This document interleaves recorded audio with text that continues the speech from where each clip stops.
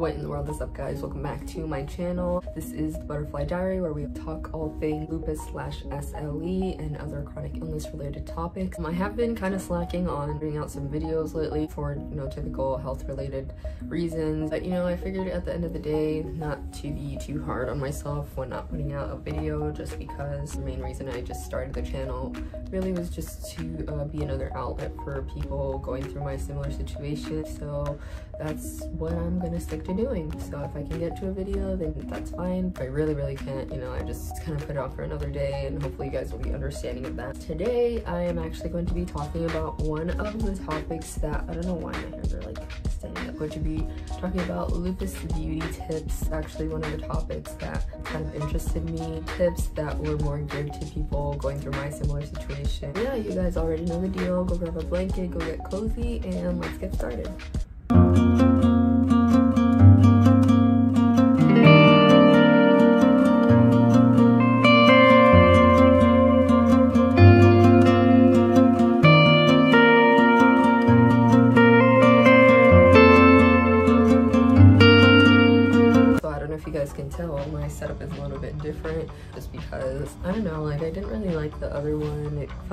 But I've been trying to figure out what uh, the perfect setting would be for my filming sessions but anyways lupus beauty tips so first of all I'm just gonna put a disclaimer out there because I don't know if this is just all in my head but like to me there's just something very sensitive about this topic it became even more like pushed to the forefront of my mind after I started going through all of this lupus journey, I guess you could call it. It really made me rethink certain ideas, certain understandings that I had just beauty in general, but also within the circle of chronic illnesses and things like that. There's certain things where like now especially just own as a society kind of knew about, but we never like could put a label on it. The way that you're raised, the way you see certain things on social media or society tells you, all these different things that have to do with beauty standards and where beauty comes from and all that stuff. Everyone has a different understanding of beauty. Our ultimate beauty needs to come from our identity. Personally, you know, if you're a Christian, your identity comes from relationship in Christ and your identity in Christ. And that kind of just takes emphasis off of the physical and puts it more towards inward beauty and just you know your personality your values the way you carry yourself and stuff like that even outside of uh, religion. Faith, it still, I think, applies to anyone. I think that that should always be the case. just because they don't look like someone else, you know, they don't need to be comparing themselves to anyone else. God forbid, you know, you have to go through a situation like me where all of that stuff is stripped from you without you having a choice in it. It does just kind of hits you in a different way. Like it just makes you so aware so fast of all of these different areas that you otherwise might not have noticed you were so like shallow about. After I guess a couple of months was when I started to lose like my hair. My hair started thinning. You know, I'm sure a lot of people with lupus or other chronic illness can relate to just the thinning of your hair or like the falling out of patches of your hair. I mean, I would like take showers and as soon as I would get out my mom would brush my hair. As much as she brushed off is as much hair as would come out. I've always been very connected to my long hair so that was to say the least a very humbling experience. Being completely like stripped away from you in front of your eyes. Growing up I didn't consider myself like physically attractive. Compliments always came from my hair. So ultimately I attributed my hair to my, my beauty and all that stuff. Uh, take pride in like my hair and stuff. And don't get me wrong, you know, there's nothing wrong with acknowledging that I have pretty hair or I have a pretty face or whatever it may be. Like, no, God gave us that for a reason and we should be thankful for all that. But, you know, it's not to the extent where I feel like we should be just putting our full identity or letting that determine our confidence and how we portray ourselves or how we display ourselves in society. Things like hair loss and stuff like that because of a certain condition or illness I think that that in itself also can be its own conversation that I haven't really seen a lot of people talk about, but it is a real thing. I wanted to be careful with what I was saying in these videos because I don't want to come off as you have to find a certain way to make yourself look quote unquote normal. Obviously, if you don't have a choice in going bald or losing your hair or having short hair, you know, it's, it's normal to kind of have that, I, I don't know how to say, like that uh, idea that you do want to look a, a normal to a certain extent because you didn't have a choice in that transformation. I didn't want to impose any idea of like you have to be a certain way if you do start going through this. Like I don't want it to come from a place of vanity. My opinion, my tip is if you do want to doll yourself up in a certain way, examine your intentions with it. To know that ultimately whatever you do on that outside isn't as important as the inside. You know, there's nothing wrong with wanting to look good every now and then or, you know, every day if you want. For all those people who say, oh no, you're just being vain or whatever. No, I don't think that there's anything necessarily vain about wanting to just look normal. Not necessarily changing, but just simply restoring something that was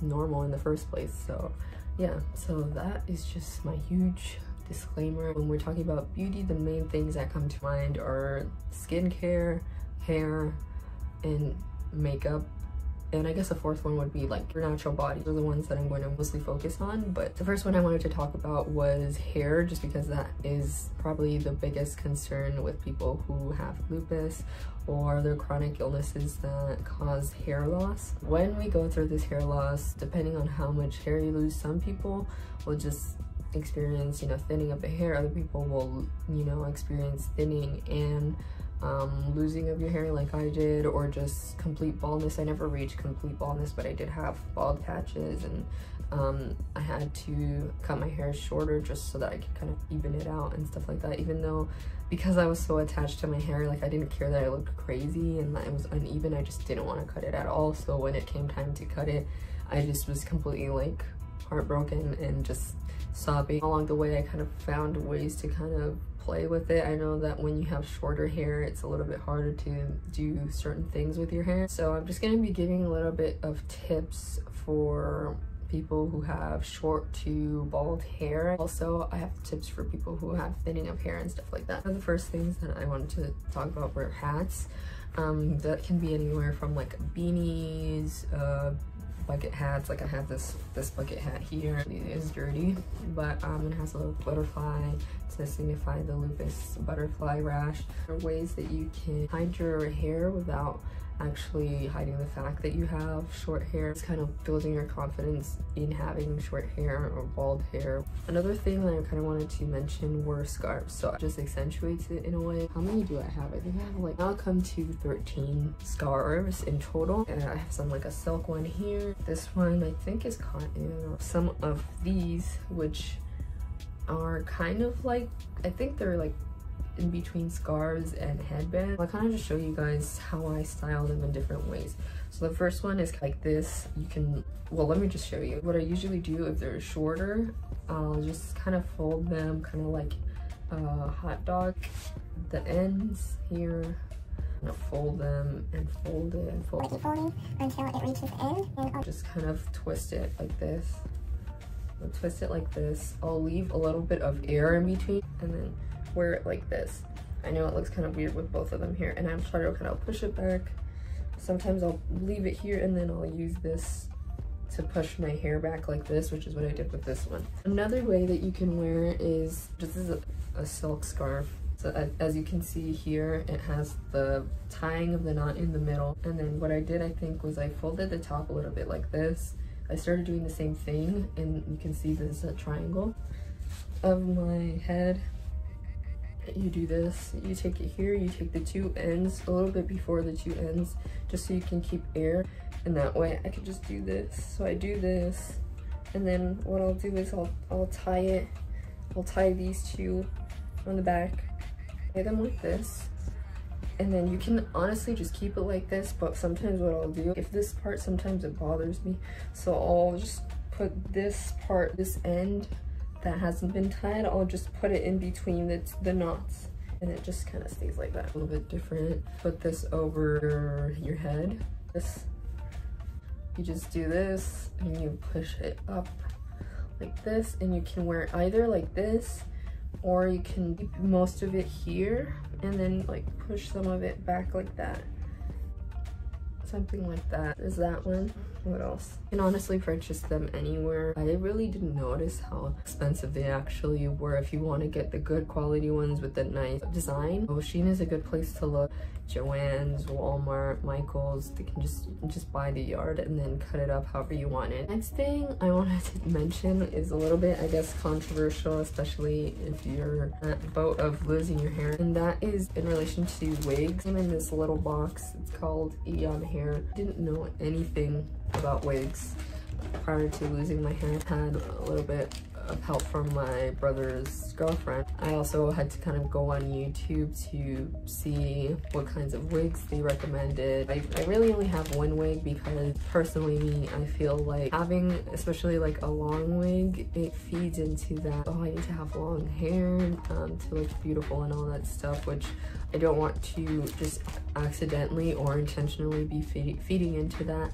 Course, there's nothing wrong if you you don't feel that way and if you feel that that's just your preference you just want to have your hair like that. But i do use them on like special occasions if i want to like dress up look different. If i can find the link to this specific wig then i'll, I'll put it in the description. There is the wig. I liked all the reasons that she got. She said that she doesn't like it to look too nice because natural hair isn't like that anyway. This was lace front before getting this i didn't know about uh, headband wigs so that's a, another good option. Another thing that i kind of wanted to talk about someone who's experiencing like thinning of hair or just bald patches. Also natural remedies that you can use to just maintain a stableness in your hair so that it doesn't necessarily grow but it also won't be falling out like crazy. I talked to my PCP about it, I talked to my rheumatologist. Basically all my doctor said, whatever you do to your hair, it's not really gonna respond. When your body flares up, basically your immune system is completely overactive and I asked him about and these aren't as natural I would say but they are also like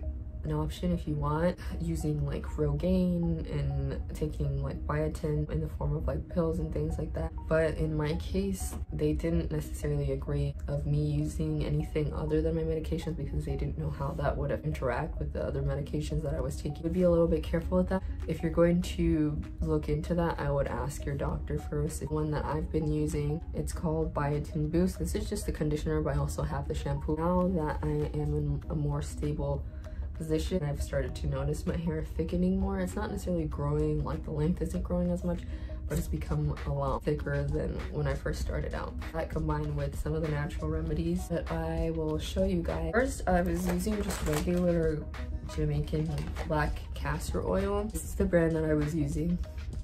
I don't know if you guys can see that. I think you can find this in like any department store, Walmart. The other one that I've been using now is 100% uh, pure Haitian black castor oil. Other oils, avocado oil, coconut oil. I will combine the castor oil with the biotin conditioner just because it is very thick and sticky. It gets stuck automatically to first thing that you touch on your hair. I'll use the conditioner to kind of even it out. Skincare is probably one of the most important, but especially when you're a lupus patient, especially from the sun. We'll say usually like 30 and above SPF, but I actually got this one that has 50. Dermatologist recommended. This is a Neutrogena brand. Other stuff that I'll use, Collagen Skin Rescue. So use this oil-free facial cream with vitamin E. There's also a cleanser that I don't have with me at the moment, but I've been really liking the Superfood cleanser by Youth to the People. And it has kale, spinach, and all this really good stuff. And last thing I wanted to mention in terms of skincare, any form of cocoa butter is also really good for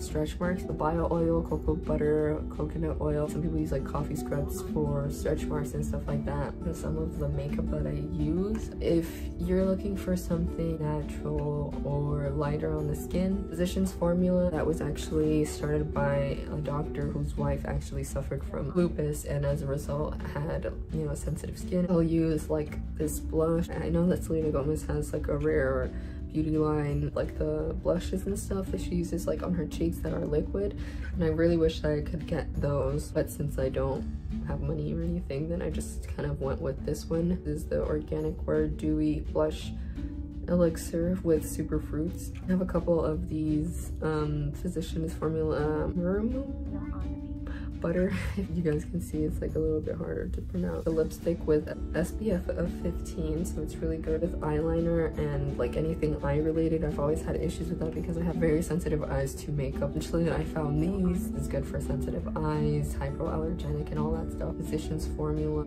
Eye Booster Waterproof Ultra Fine Liquid Eyeliner. And then if you don't like liquid so much, there's another one that's also really good from them. That's actually just a pencil and you just screw it out. So Physicians Formula is really good. Most of their products have SPF in them for any regular chapsticks, Burt's and Bees Wax Lip Balm. And then this is the one that my PCP had recommended, Immediate Relief, Relief Lip Repair, which is specifically for dry lips and it's a clinical brand. When it comes to powders and things like that, that is like the main thing that gets messy with butter eyeshadow and it literally just sticks on your skin. There's not really a lot of powder that comes out of it. It's more like a cream. Don't have to worry about anything dusting into your eye. Another one is Honest Beauty and so I have to try that one out. Hopefully soon I can get into a little bit more experimenting. Ultimately, beauty is more of an inward thing. And if we're not feeling that way, then I think that we should first work on coming to a place of confidence and comfort in ourselves as a beautiful human being before we start searching for outer things to compensate for those feelings, you know what I mean. Trying to do my best or whatever and helping you guys out. And please let me know if you guys have any other tips, if you've been through a similar situation, or if you just haven't and you just feel like this is something that could benefit anyone. See you in the next video and yeah, bye.